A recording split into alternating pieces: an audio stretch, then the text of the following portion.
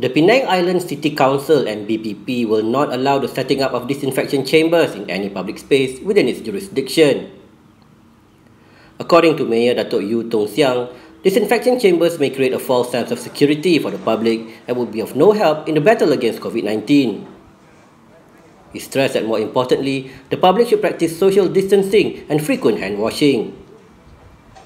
He told newsmen this when met at the Padang Tembak Market where he had conducted a spot check on the Movement Control Order MCO compliance level there this morning, Tuesday, April 14. This, this inspe uh, the inspection chamber actually may create false security sense for the public. The most important thing is the social distancing and also don't use your hand to touch your face while your face is your hand is dirty or touching. So that's most important thing. Two things: social distancing and also keep washing your hand. That's it.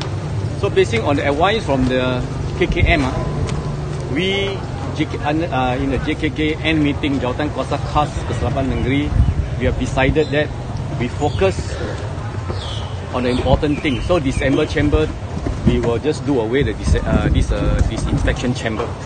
So what you can see that we have asked this uh, Balik Pulau chamber to dismantle it.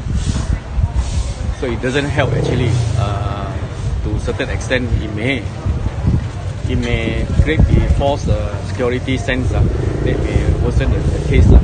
So to certain extent, it just may help you take out certain things from your clothes. That's all. So still, we have to focus on the social distancing and also keep washing your hands. That's it. Simple as it.